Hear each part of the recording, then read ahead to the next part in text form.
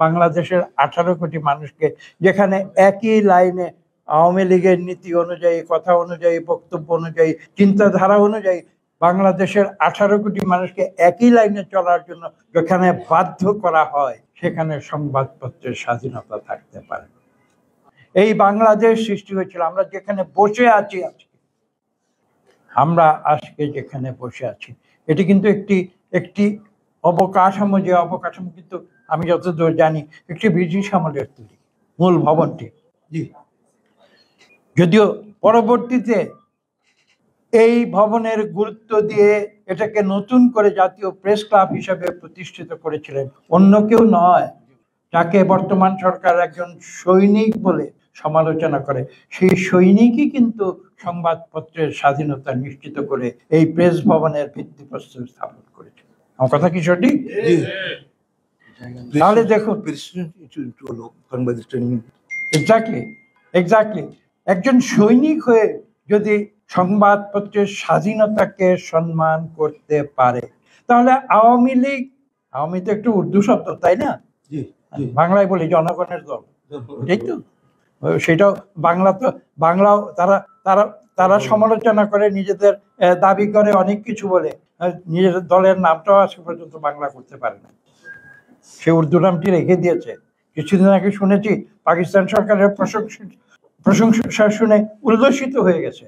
আবার অন্যদের বলে তারা নাকি পাকিস্তানের সঙ্গে আসে আরে পাকিস্তানের সঙ্গে যদি অন্যরা থাকে, তাহলে সরকার পাকিস্তানের প্রশংসা শুনে উল্লসিত কেন হয়? এই প্রশ্ন কি দেশে, আঠারো কোটি মানুষ করতে পারে না?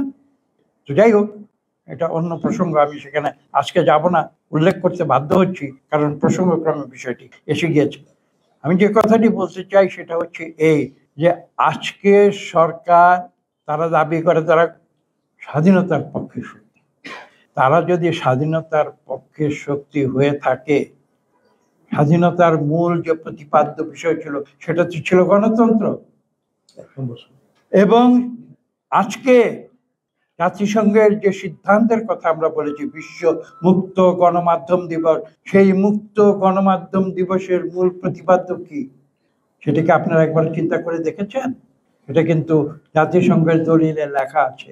মুক্ত গণমাধ্যমের মূল প্রতিপাদ্য বিষয় হচ্ছে কিন্তু গণতন্ত্রের কারণেই কিন্তু জাতিসংঘ মুক্ত গণতন্ত্র দিবসের কথা চিন্তা করেছে, ঘোষণা করেছে এবং পালন করছে।